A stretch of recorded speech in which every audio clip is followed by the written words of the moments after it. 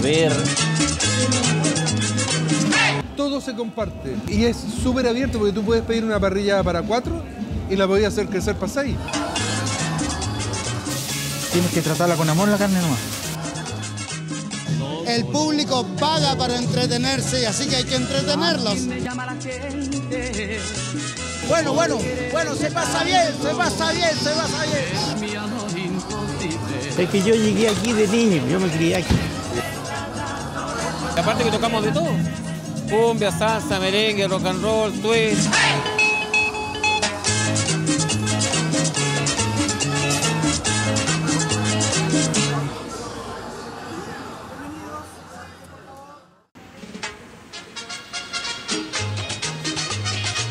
Es bien difícil encontrar algo más chileno que una parrillada bailable. Incluso uno pudiera argumentar con amplia confianza que son más chilenas que los porotos. Y en este reportaje usted entenderá el porqué. La receta es simple pero variada. En el mismo sitio se puede comer, bailar y beber hasta alcanzar la alegría total.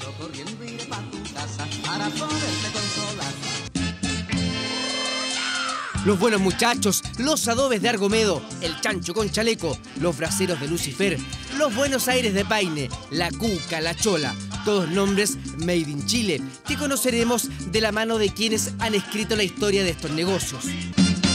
Que chumana casera máquina entera.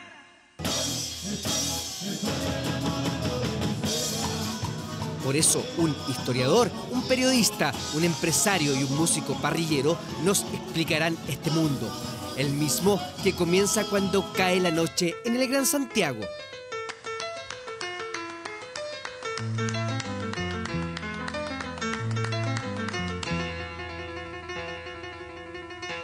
A diablo. Brontosaurio.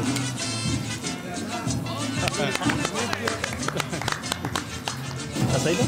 Bueno. En mi, en mi caso personal, mi- mi- yo soy de Maipú, íbamos al Chancho con Chaleco, que todavía existe, y, el- y a ese lugar celebramos el paso cuando mi papá se compró su casa. En alguna época decir que uno era parrillero o el guatón parrillero tenía una, una cierta, hay una cosa peyorativa. Y con el tiempo la carne se transforma también en un alimento noble, en el cual ir a una parrilla es, tiene su... Su- las carnes mejoran en calidad progresivamente. Aquí prima algo, que es el gusto de la persona. Los chilenos han mejorado su nivel de exigencia notablemente en términos de carne. Originalmente la carne era dura, era complicada y uno iba a Buenos Aires y decía, qué espectacular, qué diferencia. Hoy en día la gente viaja y me lo dicen clientes acá, me dicen, oye, fui a Buenos Aires, fui a un par de restaurantes, ni una maravilla me dicen.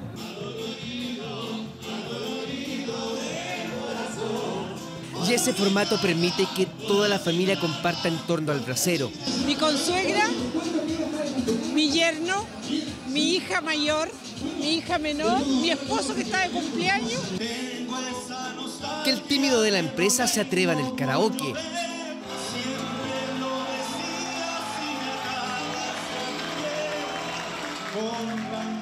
Y que aquellos que recién entraron al trabajo paguen el piso. Están pagando el piso la- los dos primeros, uno ahí y los dos, tres personas, tres colegas. Eh, sí, de hecho había venido y por eso aproveché de, de proponer el lugar para el equipo. Sí, no, no hay problema, hoy día no, no hay tope, así que lo que no, lo que quieran. En estos locales el chileno se libera, una liberación que no es casual. Estos locales florecieron hace ya 40 años, cuando en 1978 el toque de queda, impuesto por la dictadura militar, se flexibiliza hasta pasada la medianoche.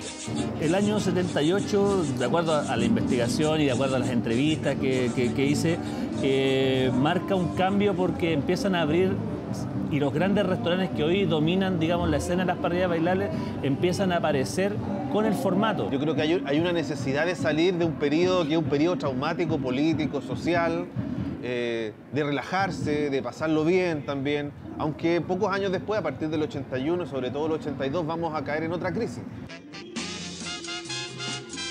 Son cinco años de bonanza donde incluso el régimen se atrevió a asegurar que cada chileno tendría un auto, pero esa es otra historia.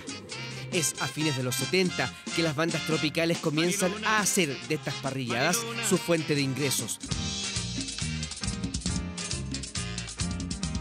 Por eso Pachuco y la Cubana Can reinaron en la noche santiaguina. Cuando aparecieron las parrilladas, se abrió un campo de trabajo para todos los músicos en Chile. Los adobes de Argomedo, los buenos muchachos, fueron un campo de trabajo para que la Cubanacán tocara. Hacíamos dobletes, se tocaba allá, se tocaba acá. De los adobes de los buenos muchachos a Viña.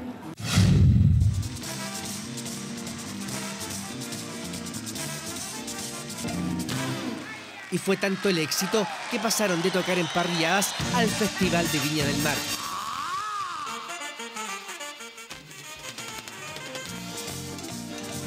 En 1986 y 89 la rompieron, repitiendo actuación en dos noches consecutivas. Hagamos un saludo por Pachuco para recordarlo. Saludo por Pachuco. Eh, porque fue Trianito y la cubana acá, por supuesto. ¿Quieren escándalo? Justo en esa época del año 85 empezó a sonar un tema que era el africano.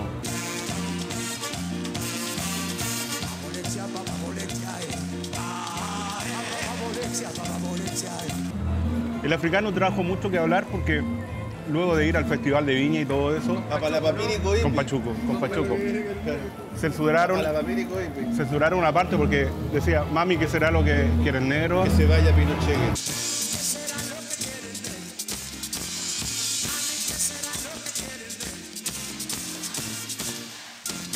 Aquí han pasado todos los presidentes de la República de- de- de- desde Elwin.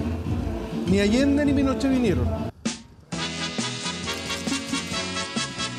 Los buenos muchachos tienen ya 80 años de vida en el mismo lugar, Camin con Mapocho. De ser picada pasaron a convertirse en un local con capacidad para más de 2.000 personas, con show folclórico y ballet. Y a vender una cantidad de carne impresionante todavía servida en parrilla a carbón. Este es el lomo liso, de 200 gramos cada uno. Hoy día por lo menos vamos a sacar unos 1000, 1200 unidades. O sea, esto es bien intenso, dando vueltas y sacando, Correcto, a la minuta. De esos 80 años, don José Bustamante, apodado el Ñeque por su pasado boxeril, lleva 56 de garzón. Hola, buenas noches. Un aperitivo. Ya, tengo un mojito rápido, lo quiero, mi hijo, ya. Porque...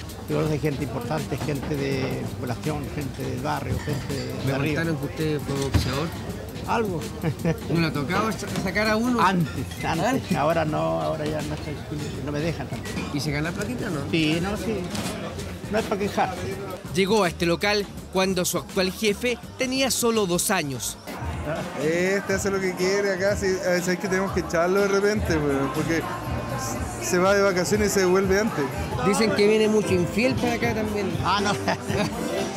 Nos tocaba sacar algunos con camuflado por acá atrás. Nosotros arrancando y la señora la sigue atrás. de ¿En serio? Ya, puñeque. No lo voy a hacer un gallo porque me va a ganar. Dejaremos al ñeque trabajando, acá seguirá toda la noche, aunque le falle la cadera producto de su artrosis.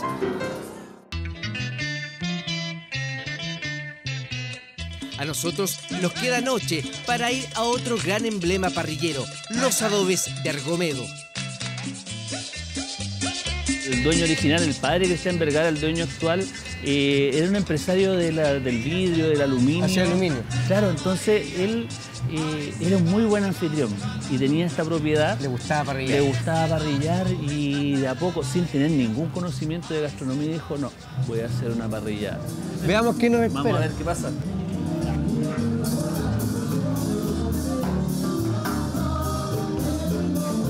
Ellos comenzaron en 1978 a escribir su historia, la de una parrilla en Argomedo, esquina Lira. En pleno centro de Santiago, y pese a que las inmobiliarias hoy le ofrecen varios millones de dólares por el terreno. Para las constructoras. Para nosotros no, porque queremos seguir acá. Pero me imagino que lo tientan día a día. Sí, todos los días, todos los días. Eh, te llegan eh, tirando cartas, dejando tarjetas. Hay sen- mucho sentimiento acá. Especial porque lo, lo- hizo mi viejo. Cumplimos el mes pasado recién ya 40 años en, en el rubro y, y vivo todavía, a pesar de todo lo que ha pasado.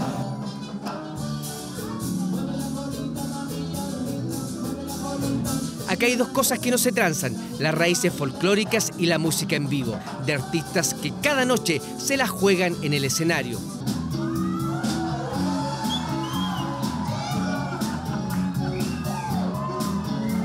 De 25 años que trabajo aquí en los adobes de Argomeo.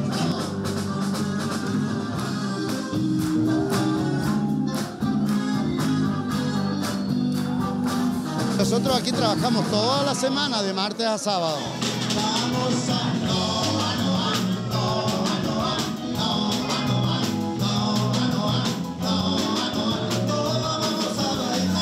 Es que animar una parrillada no es fácil, tampoco es el subsistir para ellos ni para los empresarios.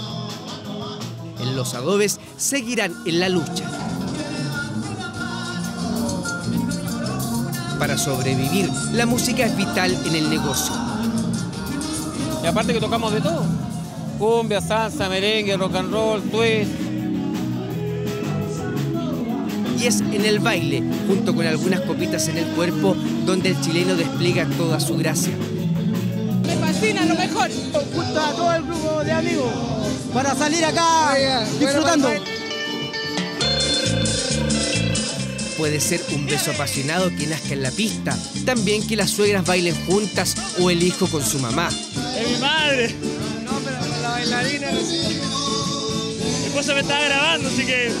Que el jefe pierda toda compostura Hemos venido con todos los chiquillos, yo soy el jefe de ellos y venimos muy pasando bien. y que en lo más álgido de la noche llegue el esperado trencito.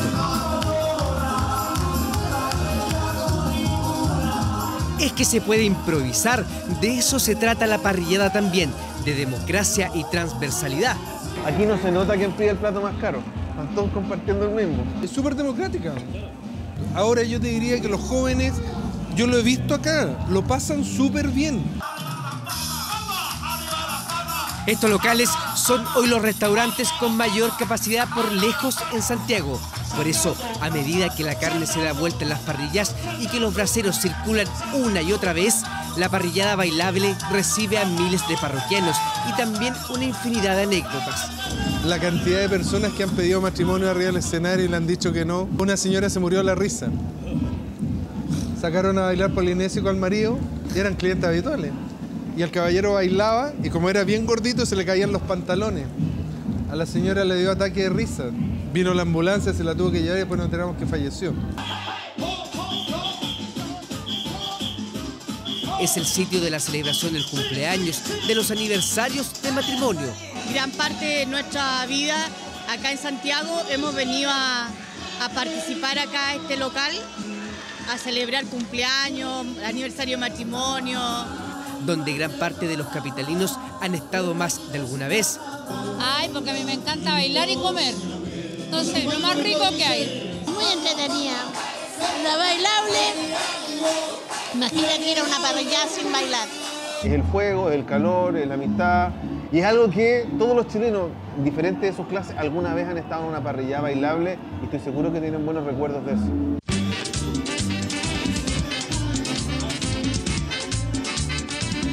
No existe en el mundo ningún modelo de local como las parrilladas bailables chilenas, donde la receta es simple, se come, se baila y se bebe en torno a la carne, donde tienen cabida los grandes y también los chicos.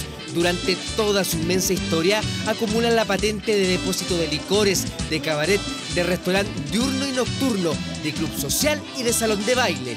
Ha sido cuna de artistas, escenario de una infinidad de bailarines, testigos de romances e infidelidades, hogar de garzones, maestros, animadores y cocineros. Y si bien el negocio ha pasado por crisis y momentos malos y buenos, lo cierto es que las parrilladas bailables en Chile, al igual que la cumbia, tienen cuerda para rato. Larga vida para las parrilladas, larga vida para la cubanaca. Sacó salud.